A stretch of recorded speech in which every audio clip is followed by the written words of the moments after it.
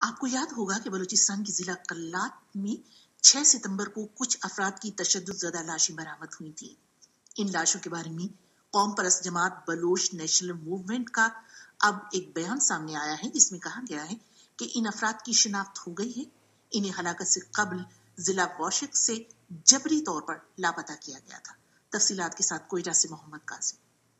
Baloch national movement کی جانب سے جاری ہونے والے ایک بیان میں کہا گیا ہے کہ جن افراد کی لاشیں برآمد ہوئی تھیں، ان کو پانچ ستمبر کو ضلع واشق قلعہ کے راغے سے جبری طور پر لاپتہ کیا گیا تھا۔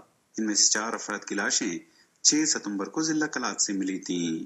بیان میں کہا گیا ہے کہ ہلاک کرنے کے بعد ان کی لاشیں ضلع کلات میں سوراب قلعہ کے کلغلی میں پھینک دی گئی تھی بیان میں افراد کو ہلاک کرنے کا الزام سیکورٹی فورسز پر عائد کرتے ہوئے کہا گیا ہے کہ افراد کو ایک آپریشن کے دوران لاپتہ کیا گیا تھا۔ بیان میں یہ بھی کہا گیا ہے اس آپریشن میں راغے میں دو درجن کے قریب گھروں کو بھی جلا دیا گیا۔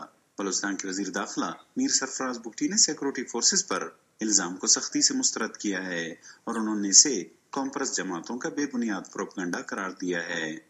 ہاں، اس میں سیکورٹی فورسز بالکل اتنی ارسپانسبل اسٹیٹ نہیں ہو سکتا ہے کہ وہ لوگوں کو اس طرح اٹھائیں اور ماریں۔ اور ہماری موجودہ حکومت کی یہ پالیسی کبھی نہیں رہی ہے۔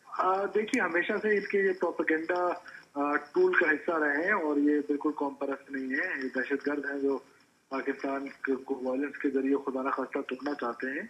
دوسری جانب، ایک اور قوم پرست جماعت، بلوچ ریپبلکن پارٹی نے کہا ہے کہ آج افغانستان کی سرحدی علاقے اسپن بلدک میں بکٹی پناہ گزینوں کے کیمپ پر حملہ کیا گیا ہے۔ بی آر پی کے ترجمان کے مطابق، اس حملے میں پائند خان بکٹی نامی ایک شخص ہلاک ہوا ہے۔